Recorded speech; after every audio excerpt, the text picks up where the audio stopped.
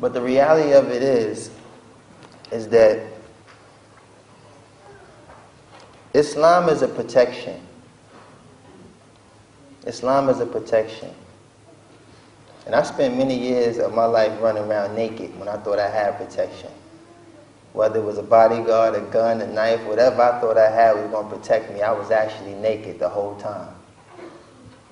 But for the mu'min, some of you who just raised your hands, born and raised Muslims, only by Allah's mercy, you came from the womb of a Muslim. So you've been protected before you even knew how to speak.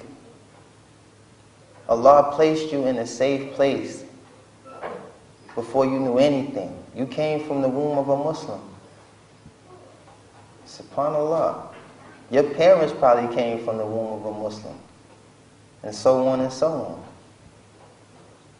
But when you think about the brothers and sisters like myself, who was in darkness, completely lost, no idea, no clue of Islam, and Allah guides us into the fold of Islam, and the appreciation that we, we, we, we establish, appreciation that we endure for being saved from that darkness. And I look at my brothers and sisters in Islam who were born and raised Muslims, and I say to myself sometimes, how?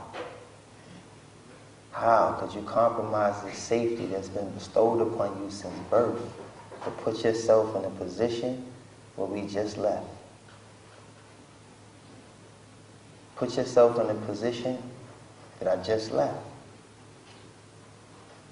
Every night I did a show, I put myself in danger. Y'all read some of these things. Fights break out in the club, someone gets stabbed. 16 year old girl don't even belong there, fake ID. Someone slips her a date rape drug and she gets molested or raped.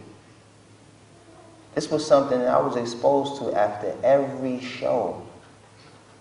And you know what? I never wanted to be responsible for it because I felt like my songs was commercial. I wasn't out there talking, you know, about killing everybody on the song. I never made derogatory songs or derogatory statements towards women. I thought that I took the most commercial approach to dealing with the music business, but it never allowed me to escape from the ills that came with the game. You can't have one without the other. You can sit there and, and smooth it out as much as you want. But I still had to watch people get dragged out of clubs for being stabbed. I still watch people in parking lots get shot. I still watch young girls making up their face to be older than they are and finding themselves in situations where they may have never ever encountered any type of physical relationship with no man. And the first time it happened, next time they find out they're HIV positive. This is what Islam has protected you from. This is what Islam has protected you from. So who are you to remove this shield from yourself? To place yourself in harm's way? To dive in the arms of the shaitan. SubhanAllah.